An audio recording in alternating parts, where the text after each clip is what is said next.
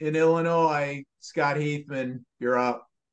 Thank you, uh, gentlemen. So so great to see you and, and just listen to this conversation. Um, so one of my side hustles is I love getting my hands involved in humanistic innovation uh, in the St. Louis area. Specifically, I'm working with a great entrepreneur in the food insecurity business right now, and um, he's really come up with some highly innovative ways using existing capacity.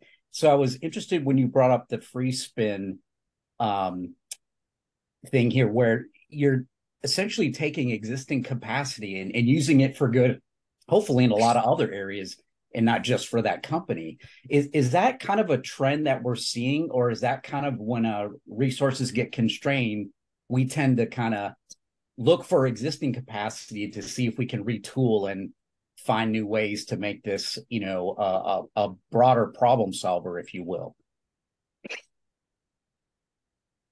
I don't think people are really looking for it. I, I, I think they should. I mean, like your your question is super astute. Um, you know, I, I here in Denmark they have something called Arla. It's all the all the farmers, and they found out at one point that the byproduct of making cheese was to make kind of like this stuff they would throw away and end up becoming protein powder, and obviously becoming like a like a hugely successful byproduct business line. I think the point is less that that is something that is happening now when like finances are tight. It is more something that we should look more at it because there's probably much more of it just hidden in plain sight. And so uh, I don't know, Jeremy, you see more of these companies that I do. I don't think people are really looking for them. I think people are so obsessed about doing something cool R&D for their existing customers of like something that can make coffee underwater and it sounds great in a brainstorm and, and often I think some of these very practical things that are solving a real problem is just in front of them. I, uh, I, I agree, Henrik, totally. And Scot, I, I do I agree. It's a great question. I think the challenge is the entrepreneurial mindset is missing. You know, I was talking to a gentleman who runs a family business or one of the largest bottlers of one of the largest beverage companies in the world. And he, I met him at a conference last week, like a CIO conference, and he was telling me about how he said, he goes, Do you know how much uh, a pallet of soda weighs? According to our company uh, records, it weighs 2,000 tons. And he said, it's been that way for years. And it doesn't weigh that. And it, it doesn't weigh 2,000 tons. That's crazy. But he said the people whose job it is to input the data never realize that it's that the that the unit is tons, not pounds, and they always put in 2,000 tons and our delivery estimates and our load management, all of these systems are built on wrong data. And he said it wasn't until I went in to talk to somebody in the shipping floor and I asked them what they do that he said there's people who every single day correct the wrong data and nobody has ever raised the flag that the data is being entered incorrectly. They're just people who think their job is to correct the mistakes others made rather than fix systematic problems. You know, he said, I was on the line and then I noticed that, yeah, Tom's exactly right. It's always, yeah, I mean, we just, we just are always fixing things, you know. Um, he said, I was on the line and I'm watching, we've got these cameras. He said cameras used to be on the line because people were afraid that a mouse might crawl into a bottle.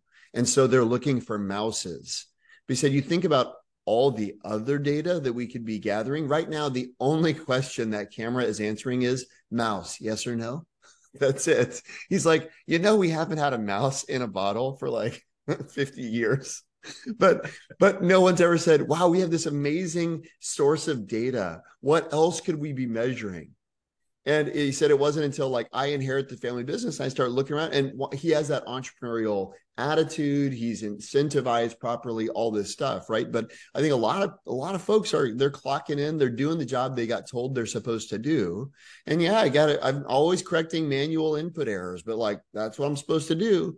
And they don't ever they don't ever see bigger opportunities. And I think that, you know, getting back to your question of spare capacity, Scot, it's just like Henrik's example, the Maersk, you know, shipping container going back empty. Nobody, it's, it's, unless it's somebody's job to actually be identifying those problems and, and turn treating them like opportunities, then those problems persist because everybody just inherits them.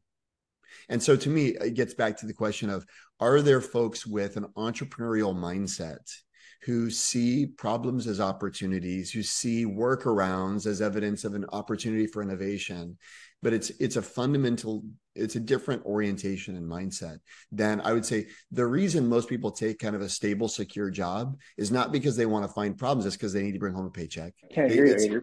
you know it's it's it's more um there's there's there's an asymmetry or a misalignment between kind of a lot of folks expectations um and desire and the needs that that you're speaking about scot Now, thank you both. I appreciate that.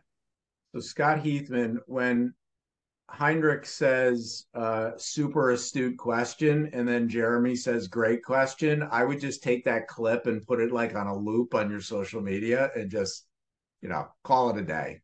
That that's pretty good. Uh, Amy, you're up.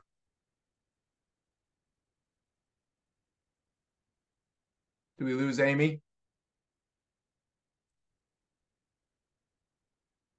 All right, we're